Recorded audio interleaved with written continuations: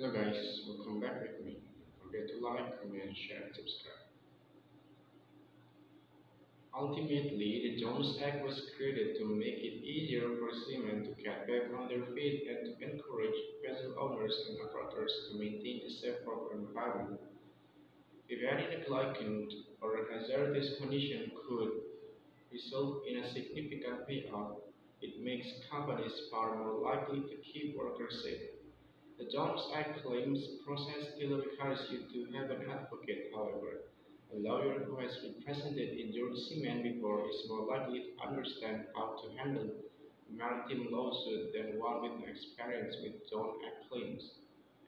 Those who have lost loved ones may be entitled to compensation under the Jones Act for funeral expenses, loss of consortium, loss of companionship and support, lost earnings, medical debt, and pain and suffering.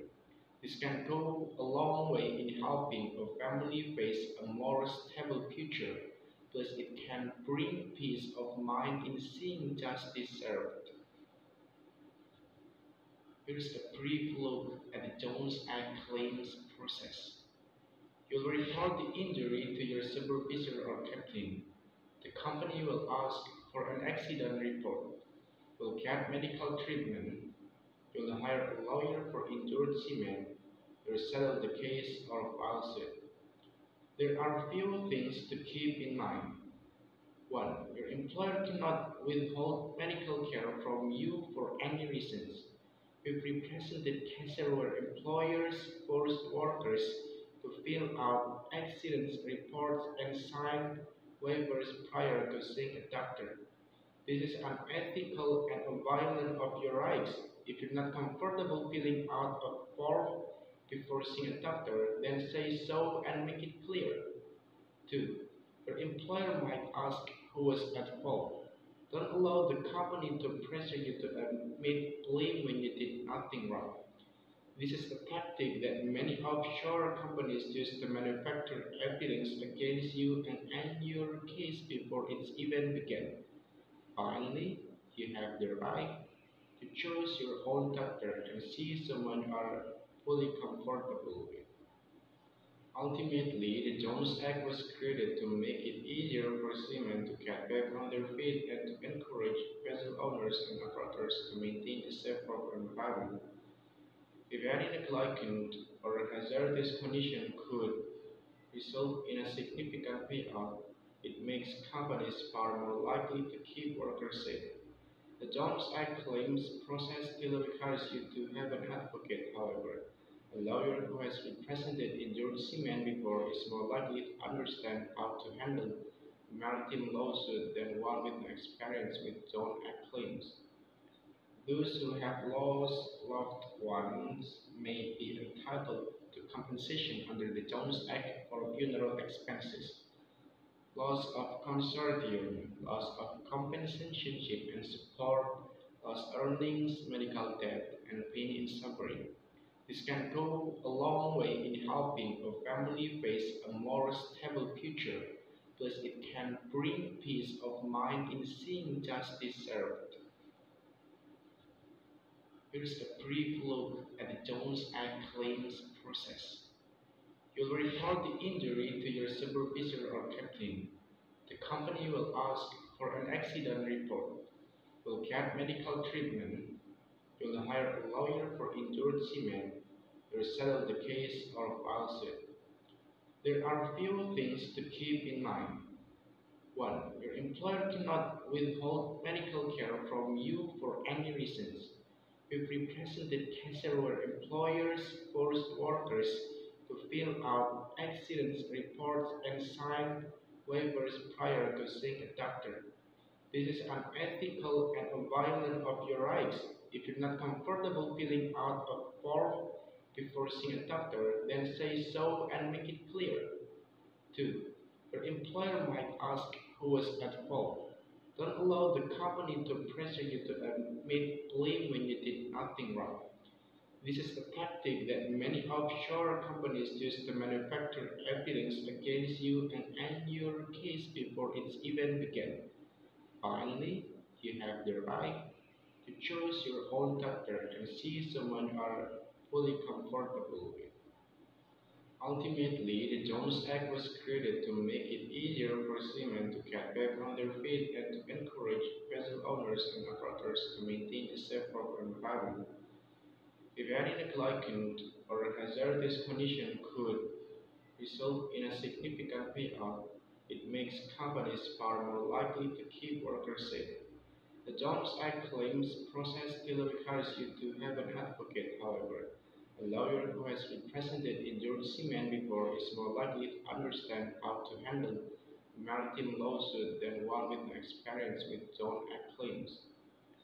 Those who have lost loved ones may be entitled to compensation under the Jones Act for funeral expenses, loss of consortium, loss of companionship and support, lost earnings, medical debt, and pain. This can go a long way in helping a family face a more stable future, plus it can bring peace of mind in seeing justice served. Here's a brief look at the Jones Act claims process. You'll report the injury to your supervisor or captain. The company will ask for an accident report, will get medical treatment, you'll hire a lawyer for injured seamen, you'll settle the case or file suit. There are a few things to keep in mind. 1. Your employer cannot withhold medical care from you for any reasons.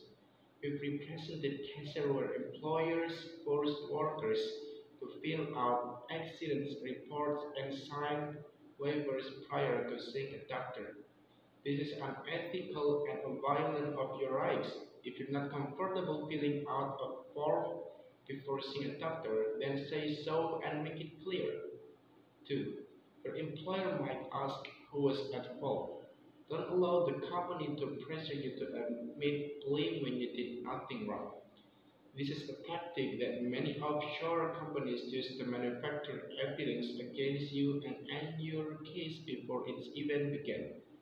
Finally, you have the right to choose your own doctor and see someone you are fully comfortable with. Ultimately, the Jones Act was created to make it easier for seamen to get back on their feet and to encourage vessel owners and operators to maintain a safe work environment.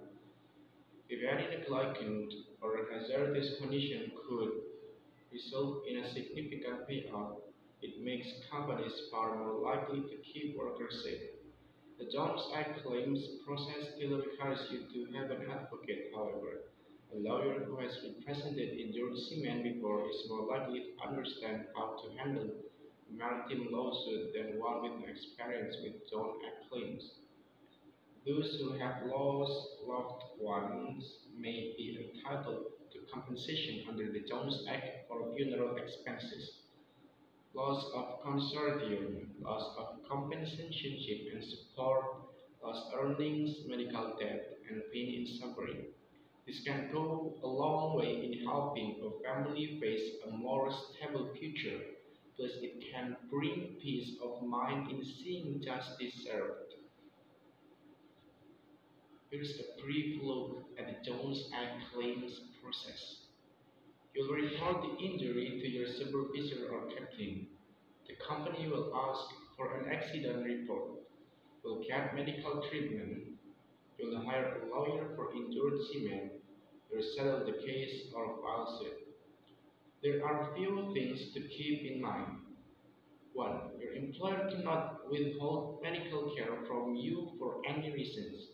We've represented cases where employers forced workers to fill out accident reports and sign waivers prior to seeing a doctor. This is unethical and a violation of your rights. If you're not comfortable filling out a form before seeing a doctor, then say so and make it clear. 2. Your employer might ask who was at fault. Don't allow the company to pressure you to admit blame when you did nothing wrong. This is a tactic that many offshore companies use to manufacture evidence against you and end your case before it's even begun. Finally, you have the right to choose your own doctor and see someone you are fully comfortable with. Maybe that's all from me. Thank you for watching. Don't forget to like, comment, share.